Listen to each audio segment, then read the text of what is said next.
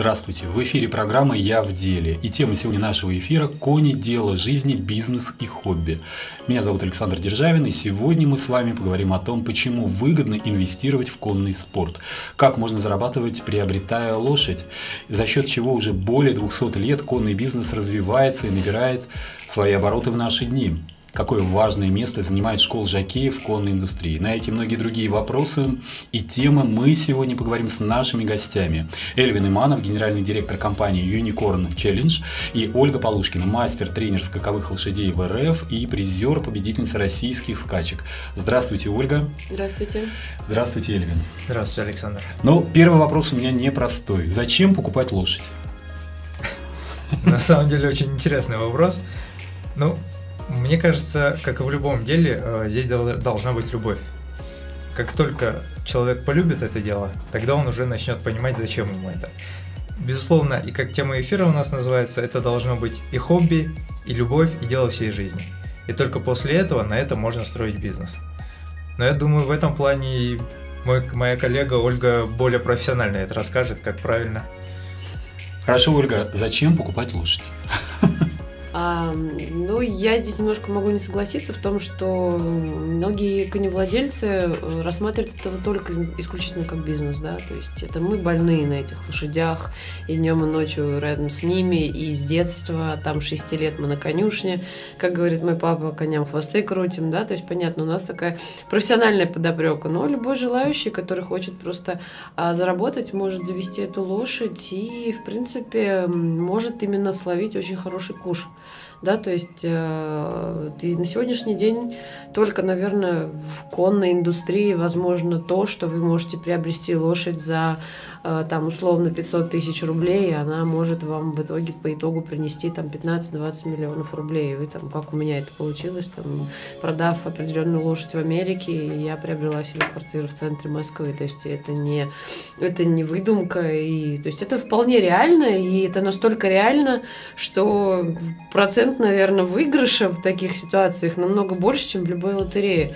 Поэтому я считаю, что для любого человека, который может рассуждать, может воспринимать да, то, что ему говорят, поймет, что, в принципе, на лошадях можно очень круто зарабатывать и вообще. Просто у нас в России это еще не слишком развито. Вот. Ольга, вы знаете, недавно мы с Эльвином участвовали в одном мероприятии в mm-hmm. Оскар Клабе, а, и там возникли вопросы, вот очень простые вопросы. А, где купить лошадь, как ее содержать, как вообще необходимо ее сопровождать, если угу, вдруг возникает угу. потребность в бизнес-процессе. Я вот поняла. Кому да, задавать эти вопросы? Да, и ну, кто смотрите, на них даст ответ? Давайте будем говорить так, да, если мы говорим о каких-то больших деньгах, то это а, работать нужно исключительно только с Америкой, США. Даже там, ну, Европа может быть, но, например, для меня ближе США. А, потому что там реально можно, вложив там определенные какие-то деньги, заработать эти деньги там через год там в двухкратном и трехкратном размере. То есть, если мы говорим, что мы вложили 50 тысяч долларов, к примеру, то мы однозначно заработаем на следующий месяц, ой, на следующий год 100, а потом 200, 500, и мы дальше пошли вверх, да, то есть, конечно, существуют риски, и эм, как и в любом бизнесе, но мы абсолютно точно знаем, что взяв определенную, например, хорошего э, происхождения лошадь, мы 100% уже, ну не 100, пусть будет 80%, мы рассчитываем на определенный выхлоп от этой лошади.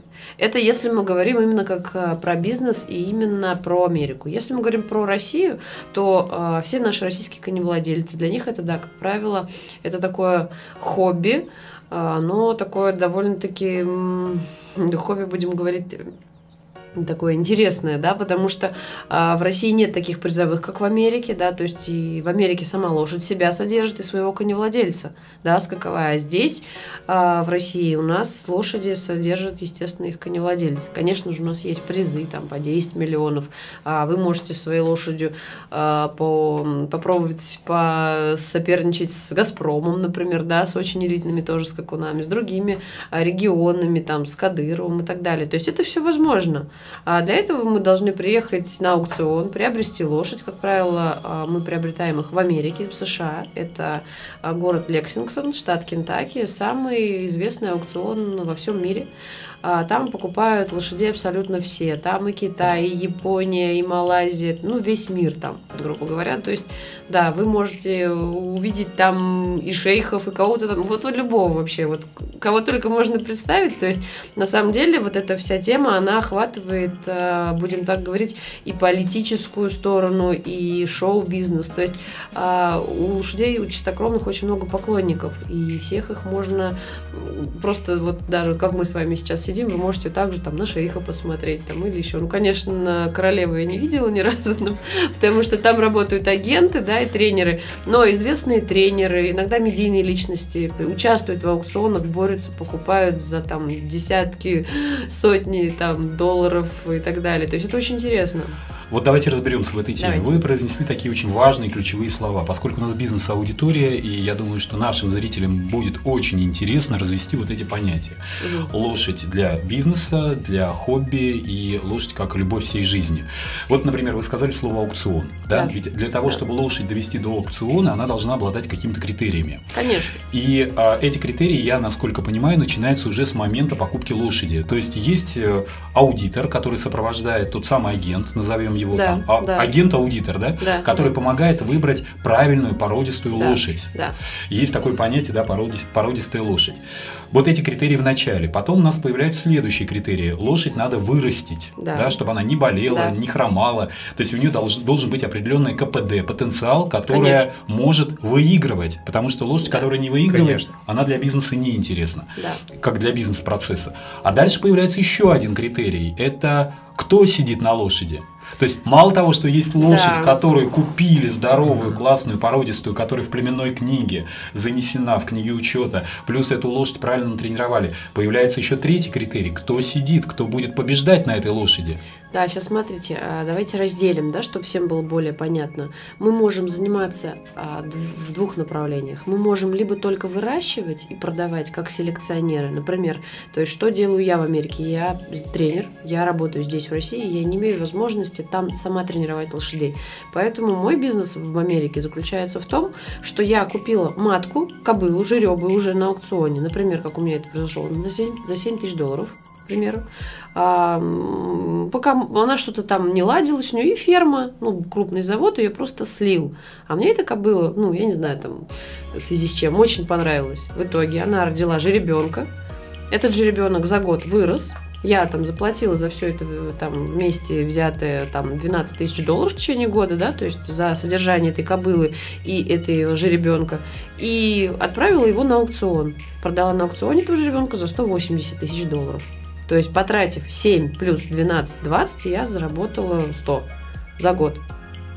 Слушайте, ну это прям вот, э, ну, вот привлекательно. Я сижу уже, вот слушаю эти такие магические цифры, да? Нет, это, это думаю, их, это эти все цифры можно проверить. Да, да, то есть да. это, то есть это никто не выдумывает. Вы можете проверить, а, в чем плюс работы с Америкой, да, что а, там у них это их имя, оно мировое и их, а, как это называется правильно?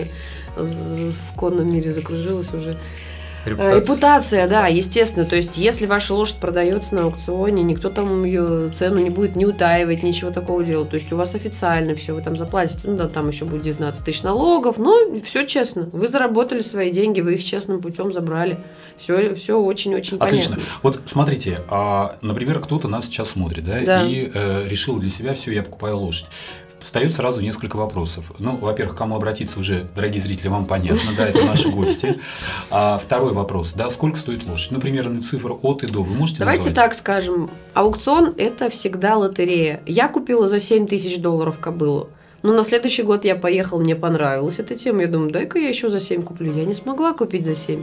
Через два года я только смогла опять купить классную кобылу, так тоже за эту же сумму. Но в среднем, если мы, а, если у вас, например, есть возможности, и вы там необычный там э, менеджер, да, там, либо если, ну, действительно, вы обладаете какими-то средствами, хотите сразу же, да, встать на некий там уровень, то в среднем а, по себестоимости я бы советовала человеку покупать лошадь от 50 до 100 тысяч долларов – это кобылу матку, то есть вложив вот эту сумму, она уже будет крыта хорошим жеребцом, то есть это где-то в ней уже будет сидеть залито где-то 1070 долларов и уже по факту вы 100% этого же ребенка как минимум продадите сначала за 100. То есть вы окупите первый год цену матки, и какую-то часть уже вам же нужно будет на следующий год опять делать случку, крыть хорошим производителем, обязательно хорошим. То есть здесь нельзя думать, что вот у меня такая крутая кобыла, я сейчас покрою дешевеньким, и у меня что-то будет. Нет, нужно дальше вложиться, и уже на третий год вы получите чистую прибыль с самоокупаемостью, с содержанием этой кобылы, с случкой и порядка 100 тысяч долларов уже на следующего на год вперед папаши, и у вас чистыми будет там 100-200 тысяч долларов уже ваш чистый заработок. И он вот так вот по цепочке будет идти, идти. Главное просто а, смотреть статистику и угадывать, какую по направлению, да, то есть, а, например, я там взяла несколько себе лошадей, даже сейчас, молодых сюда, в Россию, и вот мне тогда показалось, что вот этот, там, я сделала ставку, ну, спрогнозировала на этого жеребца-производителя, а сейчас я смотрю, хоп-хоп, от него там очень круто в Америке побежали. Все, цена на моих лошадей тут же взлетела. Вот смотрите, Понимаете? Э, человек, который продает картины, да, и является да. посредником между галереей, например, и аукционом, да. называется арт-дилер. А как вот профессию по сопровождению вот всего этого процесса я можно думаю, назвать это, в вашей я, индустрии? Я думаю, что это конный, конный менеджмент, просто менеджер, да, то да. есть у них, вот, потому что мы взаимодействуем конкретно, например, нас может быть немного в России, там раз, два, там три, четыре человека, которые этим занимаются конкретно уже на, будем так говорить, мировом уровне, да, то есть которые работают э, с Америкой, например. Кто-то, я, мне, например, удобно работать с Америкой, я не смогла работать с Европой. Ну, вот не мои люди, не знаю, не могу. А с Америкой мне решать все очень просто. Потому что я позвонила, сказала, иногда даже вот на сегодняшний день корю себе. Есть такой жеребец отличный, замечательный, American Pharaoh. Э, с ним случка на сегодняшний день стоит 250 тысяч долларов. В прошлом году, когда еще только дети от него не побежали, а побежали они очень круто, поэтому с ним сейчас взлетела цена, да. А, я приехала на ферму и просто за ужином разговорилась с владельцем точнее, с менеджером, генеральным директором, и уговорила, говорю, слушайте, ну уже дайте шанс-то вот российским-то вот бед, бедным, начинающим э, людям-то дайте. Он мне согласился покрыть его за 60. На тот момент мне показалась такая огромная сумма, и вот сейчас я понимаю, что взяв и покрыв все в этом году, я бы уже зарабатывала как минимум 300. Потому что средний ценник на аукционе на детей именно American Pharoah 300 тысяч долларов. Ольга, ну вот смотрите, человек, который, например, не владеет темой так, как вы, а вы владеете темой, потому что я понимаю, вы очень много очень лет занимаетесь. Давно, да, вот да. давайте коротко прямо расскажите, как у вас все как, это как... начиналось, поскольку наша программа называется «Я в деле», да. и нам всегда очень интересно вообще э, узнавать у наших гостей, как у них начинался вот их профессиональный путь. Ну, смотрите, я могу одно сказать. Я, я ни на какие тренинги никогда не ходила. Я очень люблю свое дело, это раз. Во-вторых, мне всегда было интересно, что происходит в мире конкретно с лошадьми, с конным спортом. То есть я э, родилась в городе Оренбурге, и понятно, что там никогда не было никаких перспектив. Я приехала в Москву, посмотрела в Москву, и мне этого оказалось мало. Я поехала в США, прошла э, несколько стажировок да, за границей, чтобы понимать. И меня это все затянуло, и я на самом деле просто ну, кайфую от своего дела и вот оно само как-то вот так вот идет. Потому что Америка в чем, в чем плюс, да, то есть если они видят мозги молодые, будем так говорить, которые хотят двигаться, хотят дальше что-то делать, творить, они очень быстро тебя берут в оборот и открывают перед тобой все двери. Хотите, там, Ольга, покрыть этим же, да, пожалуйста, давайте, приходите. Так они еще хотят что? Они говорят, а вы приходите к нам работать, именно как тренер придите к нам, мы вам дадим по скидкам, по очень хорошим ценам лошадей, вы их будете испытывать. Это уже новая ступень для заработка и для фермы, и для меня, и вообще для любого коневладельца, например, из России, который будет работать дальше, например, в связке, да, то есть развивать это все дело. Потому что, еще раз повторю, там это очень большие деньги в Америке. И они заинтересованы в наших мозгах, потому что мы из России люди голодные, плюс мы не верхушек не хватали, мы это все дело прошли с самых низов. То есть э, вот на сегодняшний день я как тренер, я и конюх, я знаю от и до всю, я и ветеринар, я могу по глазам тоже, то есть определить, у меня болеет сегодня лошадь или что-то не то. То есть у меня уже есть настолько огромный опыт, что я в своей, э, в одной должности могу сочетать несколько. И для них это очень э, хорошо для американцев. Они не будут платить троим, они могут mm-hmm. заплатить не одной, и я буду это делать. И плюс я хочу куда-то вылезти, я хочу добиться чего-то. Для них это очень важно. И они на это очень большое внимание обращают. Поэтому здесь, я говорю, никакого секрета, просто постоянно быть э, э, заинтересованным, постоянно копать информацию и просто какая-то, иметь какую-то, ну, я по-другому назвать не могу, чуйку, да, то есть вот я представила себе, что у меня будут лошади с Америки, они у меня появились. Я представила, что я скоро, не знаю, хочу выиграть э, Кентаки Дерби. Ну, будьте уверены, я не знаю, я, ну, до 80 лет я его выиграю. То есть, ну, поставлена цель, я к ней иду. Вот. И я вообще не... Вот ну, некоторые приходят и говорят, сидят, а как нам развить бизнес, например, говорят, а как нам там повысить продажи, то есть люди изобретают. Например, я не вижу ничего, что можно изобретать. Просто бери и делай. То есть все ступени, они для меня понятны. Взяла лошадь, есть риск. Бери, не бери одну, бери две. Одна, если что-то с ней случится, это животное, понятно, может сдохнуть, может ногу сломать, это спорт. Всегда бери две, перестраховывайся, заранее подушку готовь, мало ли, шаг вперед, шаг назад. С матками то же самое. А Сейчас. есть страховые компании, например, Конечно, с которыми вы сотрудничаете? Да, а, в Америке. Опять же, а, на сегодняшний день вот у меня выжребилось две кобылы в Америке, и э, они крыты хорошими жеребцами, и на сегодняшний день мы застраховали одного на 100 тысяч, ну, то есть там выплата будет 100, если, не дай бог, он что-то с ним случится, заплатив всего по-моему, в районе 3000 долларов. И второго мы застраховали на 50, заплатили полторы тысячи долларов. Все, и у нас на год же ребенок застрахован. То есть, если с ним что-то случится, то они выплатят эту сумму. И я закрою те, то у них, у них для этого бизнеса рассчитано все, чтобы человек ничего не потерял. Но, как он говорит, вот сейчас российский вариант, пойдем ему там что-нибудь тюкнем. Нет, такую экспертизу, как в Америке, вы не обманете. Если лошади вы что-то вкололи, что она сдохла, чтобы получить выплату страховую, то они об этом узнают. И вас еще и накажут за это. Могут даже в тюрьму посадить за жестокое обращение с лошадью, да? То есть не получится. Здесь все должны быть заинтересованными. Вы застраховали свои деньги, все. Другой человек, который, опять же, работает со мной в команде в Америке, он заинтересован, он растит для вас эту лошадь выставляет ее на аукцион, и дальше он получает свои деньги за свои. Я хочу напомнить, что сегодня у нас в гостях Ольга Полушкина. Это мастер-тренер скаковых лошадей в России. И это очень необычный эксперт, очень, с очень необычной профессиональной судьбой. А также хочу сказать, что у нас сегодня в гостях Эльвин Иманов, генеральный директор компании Unicorn Challenge. И мы говорим о том, а, как можно зарабатывать, приобретая лошадь. Вот такая очень интересная тема. И выясняется, что зарабатывать можно и достаточно много. Продолжаем разговор на эту тему. Эльвин, хочу спросить, вот э, ваша компания Unicorn Challenge является агрегатором конной индустрии. То есть вы являетесь такой очень мощной, сильной информационной площадкой.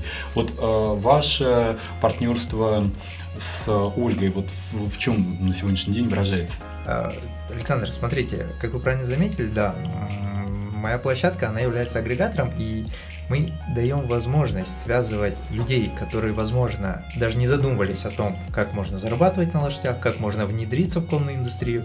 Мы даем некий выход. И на нашей платформе связываем с людьми. Да, безусловно, Ольга профессионал в этой тематике. И когда человек хочет купить лошадь, я ее направлю к Ольге и скажу, вот тебе профессионал, который расскажет весь процесс от и до. Я в этом деле именно с профессиональной точки зрения, да, не так разбираюсь. Но как именно агрегатор, как платформа мы можем связывать. Связывать разные сегменты бизнеса и включать его в конную тематику. Я даже, знаете, вот у меня пришла такая сейчас мысль. Купить лошадь. Но купить лошадь я уже захотел, начиная с первого эфира, когда ко мне, а, когда мы сделали эфир с компанией Unicorn Challenge, поскольку у нас уже, по-моему, четвертый эфир. Да. А, до этого у нас был эфир, посвященный племенному учету, племенной книге. Это был потрясающий эфир. И вот так вот мы а, каждый эфир открываем какие-то новые горизонты, что касается конной индустрии. Занимаемся такой вот просветительской работой, повышая лояльность э, зрителей и вообще будущих клиентов а, конному спорту и конной индустрии, показывая возможности финансовые в том числе. Но я подумал, вот если существует, например, в инвестиционных компаниях различные инвестиционные пакеты, а, как вы думаете, вот в прогнозе может появиться такой инвестиционный пакет, как вложение в лошадь? Ну, вкладывать же в ценные бумаги, да, к примеру, а вот можно же вкладывать, э, например, в конный бизнес Конечно, Или... можно. Конечно. Да? Да. В Америке я... это существует? Конечно. Ну вот я говорю, что меня вообще сподвигло на покупку? Раньше я приезжала и просто покупала лошадей, вот этих вот малышей, да, полуторников, да, которым полтора года, и привозила их сюда, здесь в Россию, здесь тренировала и продавала, например, либо оставляла и здесь скакала. Кстати, тоже как бизнес здесь. А, я привезла лошадь за 10 тысяч долларов, продала ее 8 миллионов, это сколько? Ну, потратила условно полтора, там, ну да, где-то полтора миллиона потратила, заработала, например, 8. Ну, там, минус полтора, шесть, ладно, шесть заработала. То есть тоже вариант здесь в России так же Это можно. за какой период времени? За 7 месяцев. 6 миллионов? Да. Ух ты. Ну, это знаете, нет, смотрите, как это бывает, да, то есть, а, например, сейчас, да, сейчас я объясню. То есть, а, вам может попасться такая лошадь, а может и не попасться. Например, ее не было. Но в любом случае есть страховая компания. Нет, нет, смотрите, я имею в виду, вам может попасться чемпион. Вот у вас, вот вы купили это золото маленькое, оно ходит, еще никто не знает, что оно будет, золото. А, а будет оно чемпионом? Будет оно или нет, это да, это да. же всегда... Но есть вы, который может э, дать э, верные направления. Да, сказать, что бы. вот здесь вероятность большая, да, здесь вероятность да, не очень да, большая. Да, да. Ольга, давайте вот прямо вот как производственный процесс, да, да. разберем все на этапы. Первое, приобретение лошади. Вы помогаете, вот да. выбираете, подсказываете, да, где, да. куда нужно поехать. Второй момент. Когда лошадь приобретаем, ее нужно содержать. Вы помогаете, подсказываете, где должна Конечно. находиться лошадь Конечно. и какой минимальный пакет нужен для содержания да, да, призовой лошади. Вот так могу я? Да. Ну, давайте еще раз мы разделим а, скачки и э, производство. Нет, а, есть, производ... селекционные да, возможности. селекционные возможности. То есть те, кто любит азарт, им, Где конечно, больше ключ... денег? Селекционные возможности ну, или скачки? вообще в Америке это в скачках самих. Но э, я могу сказать однозначно, что для меня, как человек, который находится здесь, для меня больше возможностей только в селекционном, потому что ничего Это не в России. Надо. Если я нахожусь в России, то мне проще в Америке купить себе мамочку вот эту, которая будет каждый год рожать, и каждый год я от нее буду продавать же, ребят. А куда продавать? Вы тоже на под... аукционе в а, Америке. А, и дальше вот следующий процесс, если это селекционный вариант, вы помогаете, подсказываете, где можно продавать. Конечно. Да? А да. какие самые известные аукционы на сегодняшний день? Аукционы в Америке это Кинланд и Фази Типтон. Еще есть парочку в э, в Нью-Йорке, я знаю, но они не такие, будем так говорить. Ну, основные... Это профильный аукцион. Это профильный аукцион имени чистокровных лошадей, я вам говорю. У нас э, порядка 6 тысяч голов 7 тысяч голов ежегодно а, продается а в Америке. какие самые популярные селекционные? Кинланд и Фази Типтон, Америка, город Лексингтон. Съезжается Это аукционы, а я сейчас спрашиваю, какие самые популярные породы? Исключительно мы занимаемся только чистокровной верховой породой. А, чистокровной Это одна верховой. порода, Это да. Одна. одна и самая известная во всем мире. То есть это самая быстрая лошадь, это скачки, и других не существует пород, которые могли бы быстрее этой лошади бегать. Это уже столетиями выработанная порода. Есть песочное направление, это Америка, есть э, зеленочное направление, да, э, это Европа. То есть вся Европа скачет по траве, у них определенное физиологическое строение, там, э, будем так говорить, э, биомеханика, да, строение сустава у лошади одна по, по зеленке, а по песку другая. Америка – песок, Европа – трава. В России у нас песок. Дорогие зрители, запомнили, да? Песок и трава. Селекционные направления и скаковое направление. Да. Селекционные направления, смотрите, а, значит, здесь мы зарабатываем на, на, на продаже, продаже на аукционе.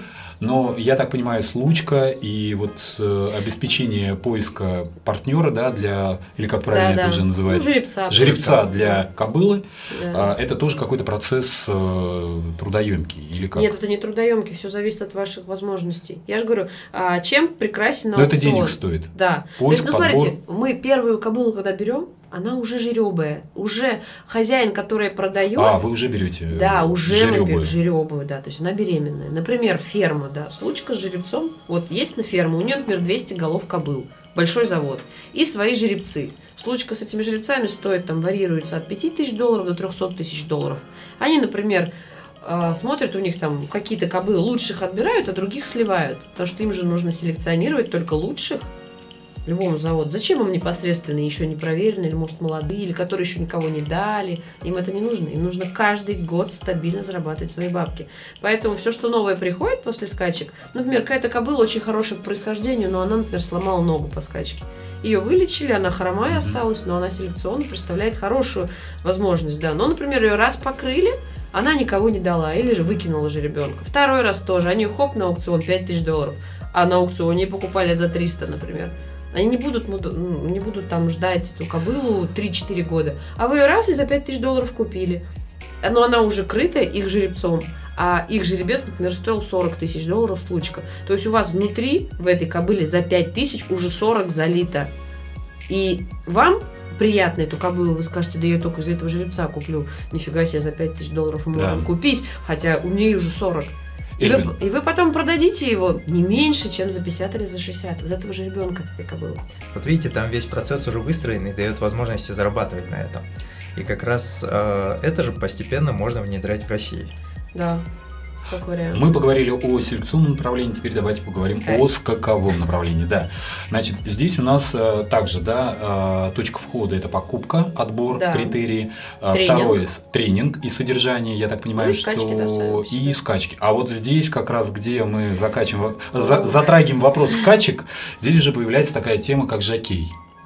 Жакей, ну смотрите, в любом случае жакей... Где его брать, вот этого профессионального все, жакея? Все известные жакеи работают как фрилансеры.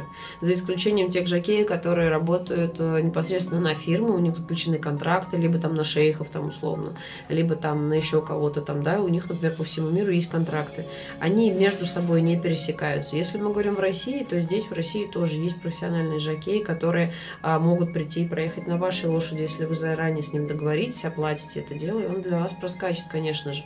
То есть у нас здесь в России менее масштабно это все, да, но в принципе также можно работать.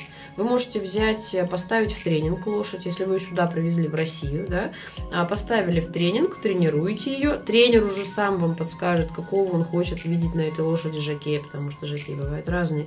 Есть жесткие жакеи, есть мягкие, есть которые убьют по там этим хлыстом по, по финишной прямой вашу лошадь, она больше скакать не захочет. Такие тоже есть дроволомы. Ну смотрите, а где они все-таки эти жаки появляются, обучаются? Вот, Откуда они берутся? Вот, вот, насколько да. я, насколько я понимаю, у нас нет школ жаки в России. Нет, я это попытался очень... погуглил, да, я нет, не нашел. Нет, нет, это очень большая проблема в России. как школ жаки. Да, это как во многом большая огромнейший просто провал в кадровый, да, то есть а на сегодняшний день все тренера и на заводах просто берут и учат таких неких таких самоучек. А профессиональное это образование сейчас в России дает никому абсолютно не дается. Да? То есть это я имею возможность, например, поездить по миру, посмотреть, как это должно быть устроено, как это работает, да, посмотреть выхлоп, что нужно убавить, как это адаптировать под российский уровень и так далее, что у нас здесь происходит. Вот, поэтому школа жокеев на сегодняшний день, да, вы правы, ее нет, и это очень большой вопрос именно для развития конной индустрии в нашей стране. Эльвин, я знаю, что вы не так давно были в Турции. Да, мы Посетили вы как раз школу Жакеев. Как, как, какое ваше впечатление? Как вот, раз, школы, вот, знаете, вот в данном случае мы и летали в Турцию, чтобы посмотреть, перенять опыт э, и наладить как раз и этот процесс в России. Инициатором этого проекта является Ольга. Она как раз и задалась вопросом, что у нас очень большая нехватка кадров, именно жакеев в российской индустрии конной. Но чтобы не изобретать что-то новое, мы решили перенять опыт и посмотреть, что и как обустроено в ведущих европейских странах. Ольга также летала во Францию и смотрела, какой опыт и как школа жакеев обустроена и сейчас как раз работаем над тем, чтобы запускать школу жокеев в России. Ну, о том, как выглядит школа жокеев в Турции, давайте сейчас посмотрим ваш видеоотчет. Внимание на экран.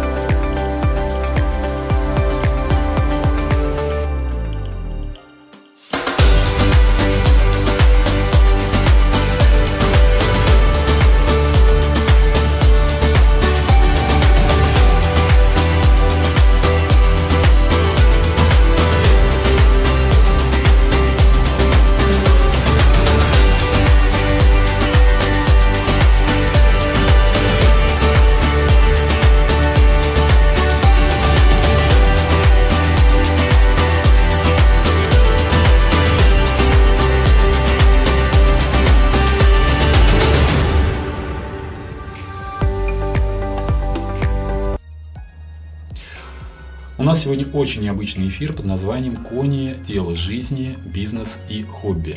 Поэтому мы сегодня продолжаем говорить, продолжаем говорить о том, а, как можно зарабатывать на лошадях. Ольга, вот мы посмотрели и сделали такой вывод, что а, школа жакеев является важной, важным звеном в конной индустрии. Вот, да. Вот а какие необходимо сделать первые шаги в том, чтобы организовать эту школу? Ох, первые шаги. Ну, нам для этого в любом случае нужно место, да, где мы будем это все дело проводить. А, мы сейчас думаем, будет это Москва или там это будет Краснодар, потому что мы должны понимать, что это прежде всего подростки, да, и за ними как-то нужно будет смотреть, потому что очень понравилось, как э, в Турции, да, как, как пансионат, Закрытый, да? да, закрыли их там всех, и вот они там сидят, телефоны свои сдают, бедные там без связи с миром и так далее. Но на самом деле это дисциплина, это круто, что это там есть. А сколько лет вот должно быть э, абитуриентом этой Сейчас школы? Будем, смотрите, вообще, по идее, э, с 16 лет, я думаю, уже можно было бы набирать, но в России я бы не хотела ограничивать там 16 или 18. Я думаю, от 16 и до, там, не знаю, до 25 даже можно. Потому что а, человек, который прийти может в школу жакеев, он не обязательно должен потом на выхлопе работать жакеем. У него, например, может быть 180 рост у него, но он, например, худощавый. То есть он может работать райдером, либо он, может быть, захочет работать ковалем, либо он, может быть, работать захочет, как Оля Полушкина, э, всем, всем, или даже, например, уберем тренера и поставим, например, менеджера, который будет именно изучать, который будет статистику вести и работать, и э, там будет э, знать английский язык, там знать всю эту нашу стезю и захочет. Ну, дальше. то есть он захочет стать да, э, менеджером, менеджером да, да. продюсером или дилером, да, как вот да. мы говорили ранее. Но для того, чтобы он им смог стать, он должен пройти все ступени от конюха, райдера, жакея и на выхлопе уже стать менеджером.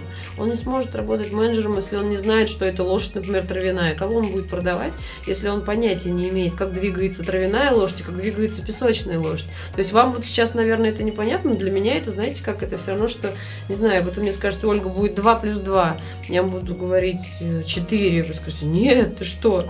То есть это настолько вот... Э, Я понимаю одно, что вы знаете все про эту профессию. Вот какие критерии должны быть у жаке, которого Давайте, вот, да, именно кто будет на лошади? Да. да. Если мы говорим про жакея, а, то в 14 лет он должен быть не выше, наверное, 155 сантиметров. И вес у него должен быть, ну, 16 лет, порядка, наверное, до 48 килограмм.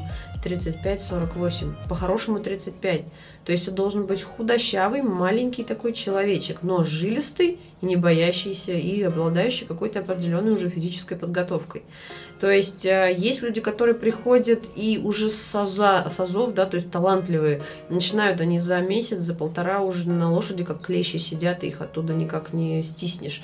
А есть люди, которым очень тяжело это дается, да, они могут год ходить и не понимать. То есть до них это вот... Это то есть у меня прям нарисовался такой образ Брюс Ли. Да. да. да. Это да. то же самое. То есть некоторые приходят и говорят, вы знаете, я вот, э, что там на ваших конях, я конкуром там занимался или занималась. Угу. Сажаешь их на лошадь, два прыжка, два скачка, человек на полу. Потому что он не ожидает, что эта лошадь может так себя вести.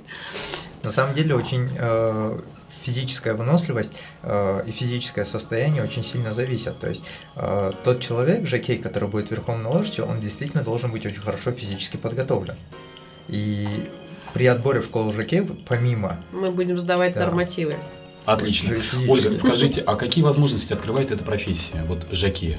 А, ну, смотрите, во-первых, для нас, конников, для, будем так говорить, мы же больные на своем деле. И сколько я, например, раз пыталась уходить, работать в офисе, сидеть или там продажами заниматься, я не могу другим делом заниматься. Также эти люди.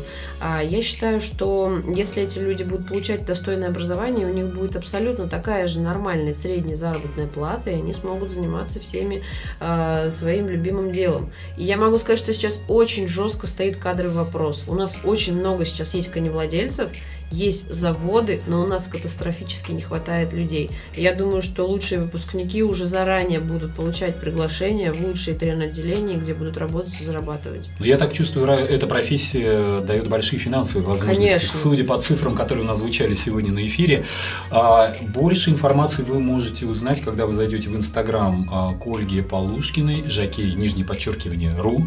У вас очень интересный Инстаграм, да, достаточно большое количество подписчиков, более 18 тысяч, и вижу, что спрос есть, большое количество лайков, люди читают, потому что вы сами являетесь, ну, скажем, а, представительницей такой достаточно редкой профессии у нас в стране. Ну, когда-то она была да. Э, достаточно популярная, более популярная. более популярная, да. И я так понимаю, что у вас прошлое тоже жакея. Ну как, я 173 сантиметра, и сейчас явно на 55 килограмм, но такое было, да. То есть я скакала, и скакала, и работала с скаковыми лошадьми в своем родном городе Оренбурге. И скакали мы там и по Сабантуям, мы тренировали по полям. Поэтому вы и стали призером, победительницей российских э, скачек. Завершая наш эфир, Эльвин, хочу обратиться к вам и такой вот, наверное, последняя тема, э, очень коротко. А, что для, нужно для того, чтобы организовать такую школу и уже открыть набор абитуриентов?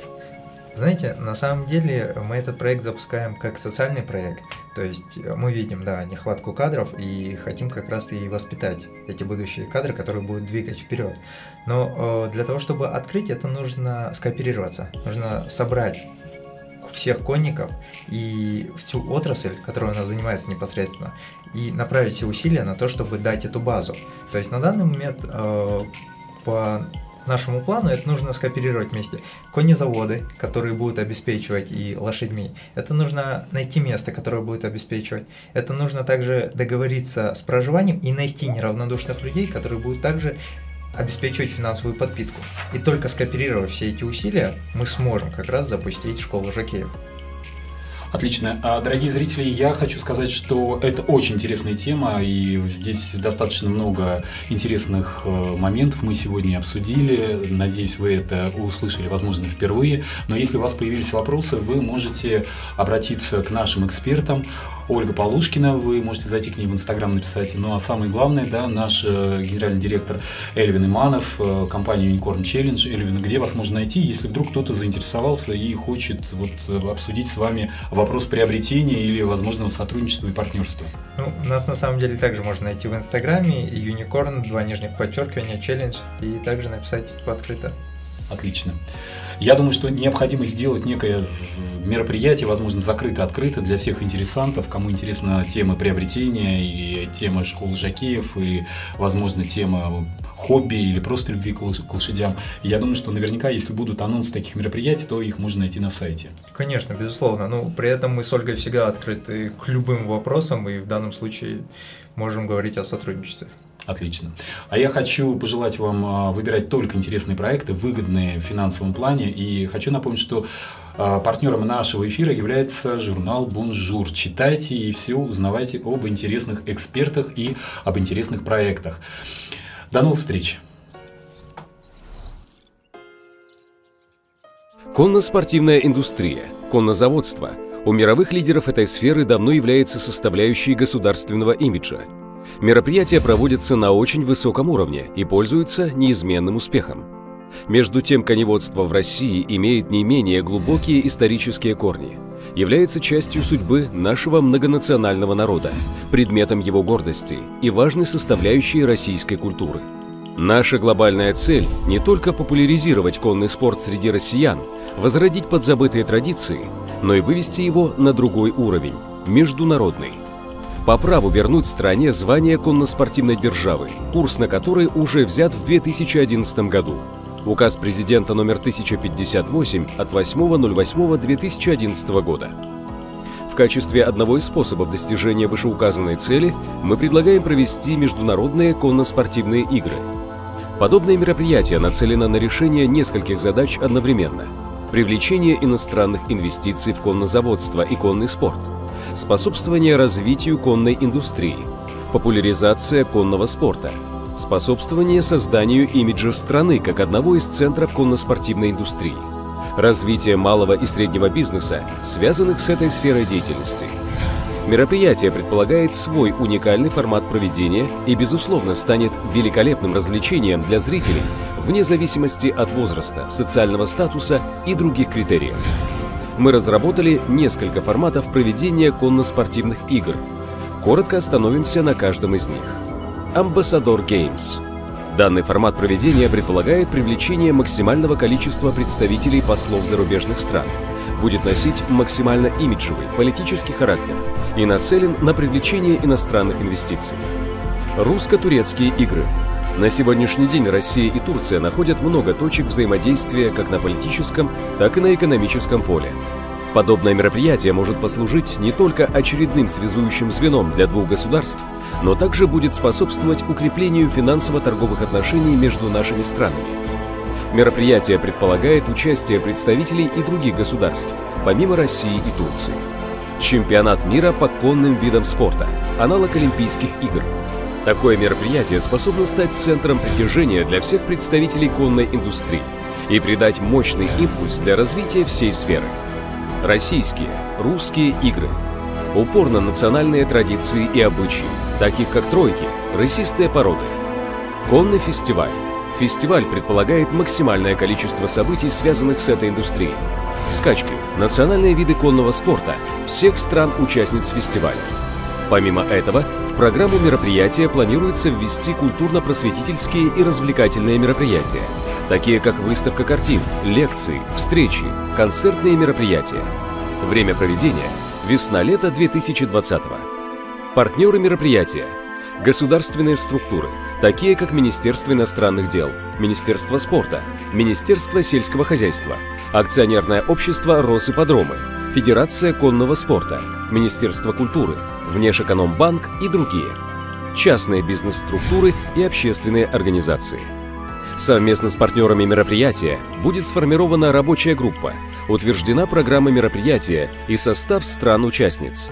Финансирование предполагается быть государственно-частным.